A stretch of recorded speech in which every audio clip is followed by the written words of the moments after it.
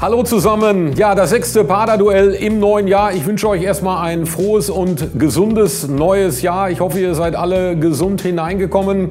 Leider Gottes müssen wir das Paderduell wieder in einer Videokonferenzschalte laufen lassen. Ich glaube, ich muss nicht mehr erklären, warum das so ist. Aber trotzdem wollen wir euch natürlich den einen oder anderen Spieler nicht nur von uns, sondern auch von den anderen Sportvereinen näher bringen. Und das geht auch dann mal ausnahmsweise wieder in einer Videokonferenz. Ja, heute geht es um die Uni Baskets Paderborn. Die haben wir zu Gast. Da freuen wir uns ganz besonders drauf. Aber ich schaue erst einmal auf die Gesamtwertung zwischen dem SCP und den Paderborner Sportvereinen. 3 zu 2 führen die Paderborner Sportvereine also für unseren Spieler heute die Chance nachzulegen. Aber bevor wir dazu kommen, begrüße ich erstmal von den Uni Baskets aus Paderborn unseren Gast Ivan Buntic. Er ist 29 Jahre alt, seit 2014 bei den Uni Baskets, also schon fast Legendenstatus. Seit zwei Jahren ist er Kapitän der Baskets. Ivan, erste Frage an dich. Wie ging es zum Basketball oder wann ging es los mit Basketball? Wie bist du dazu gekommen? Erstmal Hallo an alle. Äh, ich bin zum Basketball gekommen durch meine Eltern, weil die beide auch äh, Basketballprofis waren. Und deswegen sind wir auch nach Deutschland gekommen. Ja, kurze, klare Antwort. Und wie gesagt, du bist erfolgreich bei den Uni Baskets. Wir haben das natürlich auch im Auge. Und du musst heute ja, gegen einen Stürmer, einen Mittelstürmer antreten von uns. Prinz Uvuso ist heute da, 24 Jahre. Seit dieser Saison ist er bei unserem SCP 07. Ihm gilt natürlich auch ein herzliches Willkommen in dieser Runde. Und gleich auch die erste Frage an dich, Prinz. Du bist ziemlich groß, 1,91 Meter. Hast dich für Fußball entschieden. Wäre Basketball auch eine Variante gewesen? Nee, Fußball war schon immer meine große Liebe. Deine große Liebe. Ich glaube, ich muss euch beiden nicht erklären, worum es geht. Wir stellen Fragen immer über den anderen, über die andere Sportart. Es gibt manchmal die Möglichkeit der Schätzfrage, also so schwer wird es nicht sein. Und wir kommen jetzt zu unserem Quiz. Prinz, du wirst beginnen. Da bin ich jetzt gespannt, ob du das weißt, weil 1,91 Meter ist das eigentlich eine Frage, die müsstest du beantworten können. In welcher Höhe hängt ein Basketballkorb bei offiziellen Wettkämpfen? Ich gebe dir drei Lösungen vor. A 2,55 Meter, B 3,5 Meter, C 3,85 Meter. 2,55 Meter. Das ist deine Antwort. Antwort A? Nee, leider Nein, das nicht. ist äh, 3 Meter. 3 Meter. Was war das zweite nochmal? 3,5 Meter. Fünf. Ja, genau. 3 Meter fünf, sage ich. Bist du sicher? Ich bin mir sicher. Letzte Chance? Letzte Chance. Okay, dann hast du noch mal ganz kurz die Spur gekriegt. 3,5 Meter fünf ist richtig. Weil es wäre Also, schon sehr bisschen niedrig. Das erste Ausrufezeichen. Ja, bei 1,91 Meter hättest du dann doch besser zum Basketball wechseln können. Schauen wir in Richtung Ivan.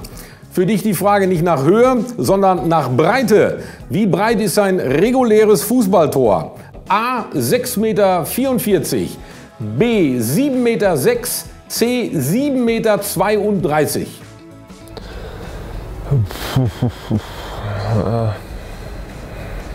B, ich, ich, ich nehme C. 7,32 Meter. Genau. Bist du dir da hundertprozentig sicher? Ähm, ja. Okay, das ist richtig. 7,32 Meter stimmt. Prinz, die nächste Frage. Im Basketball spielt die Körpergröße eine wichtige Rolle. Wie groß ist Ivan Buntic? Tipp für dich, er spielt auf der Center-Position. Ist natürlich bei einer Videokonferenz jetzt nicht einfach. Er sitzt, da kannst du also jetzt schlecht schätzen, aber ich gebe dir drei vor. 1,80 Meter, 1,99 Meter, 2,8 Meter. Ja, aber 2,8 Meter haben wir beide den Himmel vor Augen. Ja, das stimmt. Also klar, wer jetzt sitzt, ist relativ schwer. Aber ich sag C. 2,8 Meter. Ja. Da hast du richtig entschieden. Ivan ist schon am Grinsen. 1,99 Meter wäre auch ein bisschen klein, also 2,8 Meter.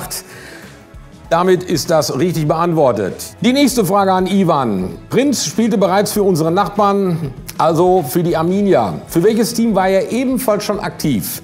Der TSV 1860 München, B der Hamburger SV oder C Viktoria Köln?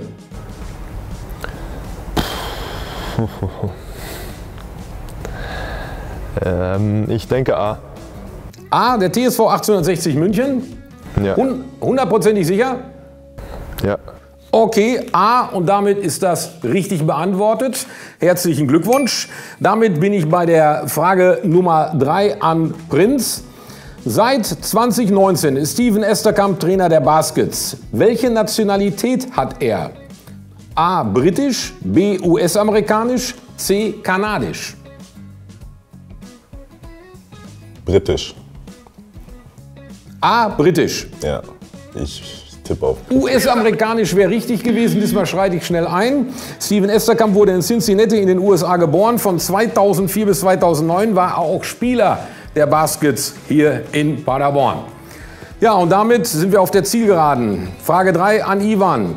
Trainer beim SCP 07 ist seit 2017 Steffen Baumgart. Welchen historischen Moment erlebte er in Paderborn? A. Er wechselte sich als erster SCP 07 Trainer selber ein. B. Er sah als erster Trainer in der Bundesliga die gelbe Karte. C. Er gewann beide Spiele gegen den späteren Meister FC Bayern München.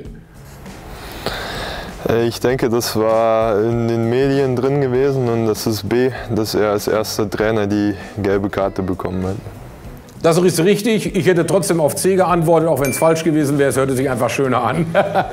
Aber herzlichen Glückwunsch, Ivan. So, ich schaue auf das Ergebnis. Ja, und da gehen die Paderborner Sportvereine jetzt schon mit 4 zu 2 in Führung. Prinz, es hat leider nicht ganz gereicht. Ivan war heute nicht zu schlagen. Und deswegen einen herzlichen Glückwunsch an die Uni Baskets in Paderborn. Wir wünschen euch natürlich, ihr habt das gleiche Problem wie wir. Zuschauer sind im Moment nicht da. Und deswegen für euch aber auch alles, alles Gute für die Saison.